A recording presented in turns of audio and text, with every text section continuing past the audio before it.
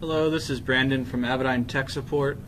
Today we're going to be going over how to upload Jeppesen charts onto your Avidyne MFD. And this will cover EX500, 600s, and 5000s.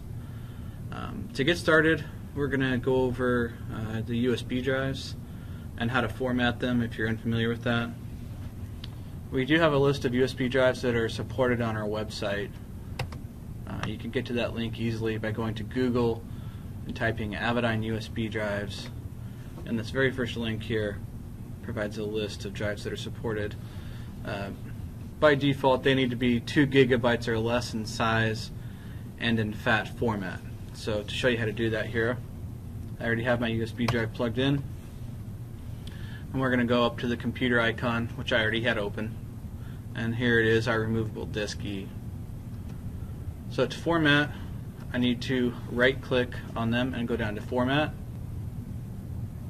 And fat default is the correct the correct option there. You can see where FAT32 and EXFAT are options which we do not want to select. And then kilo allocation unit size I select default allocation and then hit start. Here's our warning telling us that it's going to delete everything which is fine. And the and it's been formatted. So now we have a empty USB drive that's in FAT format, which is a good starting point for our for our download. So to start with CMAX key code generation, we need two pieces of data. One of them is the MFD serial number and the Avidyne, excuse me, and the Jeppesen serial number.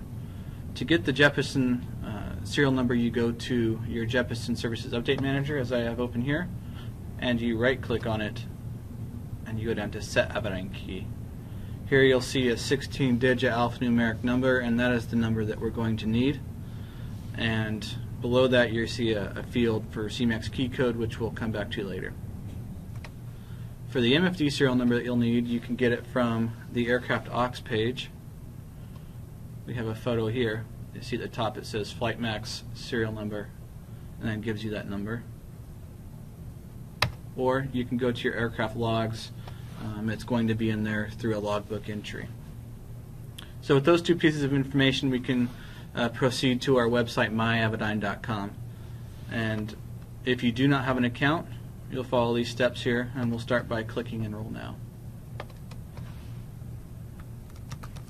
So we go and we pick a, a new username. It can be whatever you'd like as long as there's not a an account with that current username.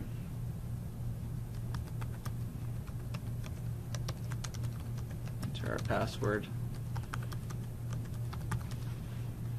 And we'll scroll down to continue.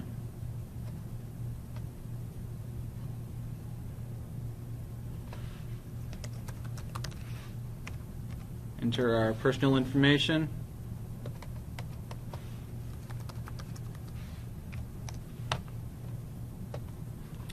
This next page is going to ask us for aircraft make, model, and tail number. So we're just going to enter what we have here. I'll enter a fake tail number for us.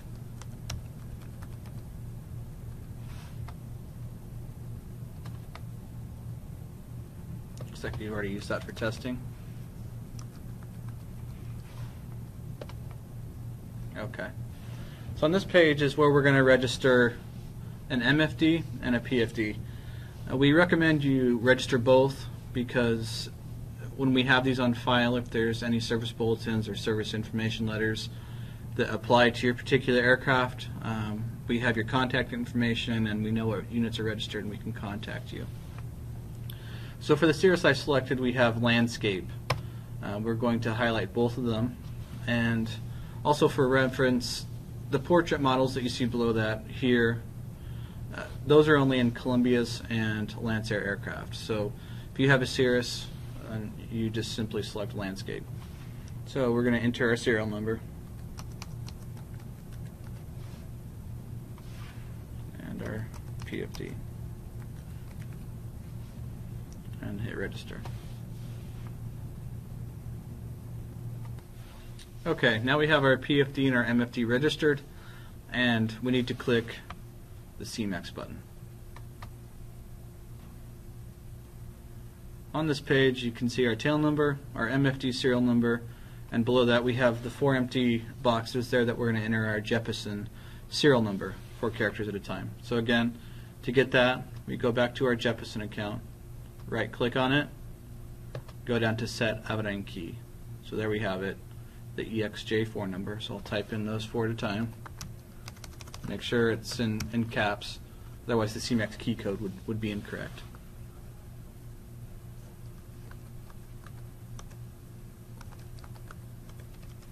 Okay. So we hit generate key. And there we have it. It's a very unique number, and I would always recommend copy and pasting. You don't want to try to type that number in, um, just because the likelihood of getting a, a character wrong is, is quite high, and you won't know that the CMAX key code was copied incorrectly until you drive out to your plane and attempt to load it.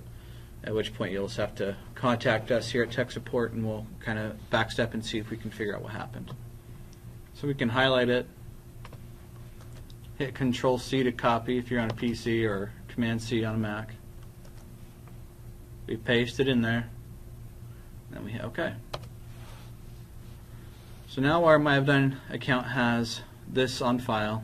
That won't go away. And our Jeppesen account has the proper CMAX key code embedded. So to download these, we go to Start. We go to Browse. And you can see our My Removable Disk there hit OK, and we start downloading. Okay, now that our Jeppesen download is complete, we have the data on our USB drive, and we're going to take our thumb drive out to the aircraft. The important thing here when you get in the aircraft is to make sure that you plug in the USB drive into the MFD prior to applying power to the aircraft. If you plug in the USB drive after the MFD is booting up, it won't recognize it. Um, and may cause some problems down the road. So make sure that you plug it in first, then power up, and it should recognize the USB drive within 10 to 15 seconds. If it does recognize that USB drive, you're going to get a screen like this that says please press proceed to begin update and obviously you would select proceed um, and then it will update the charts. Depending on geographic size, how many, you know, what size of charts you have downloaded will determine how long it takes to update the, to the MFD. Typically, it's about 10 minutes or so. Once that's done uploading, you'll have updated charts on your MFD and you will be all set. So if you have any questions, my name is Brandon. I'm in Avidyne Technical Support. You can always contact us directly at techsupport at avidyne.com. Or if you'd like to give us a call, you can call 888 723 7592. I hope this video was helpful, and we'll see you in a different one.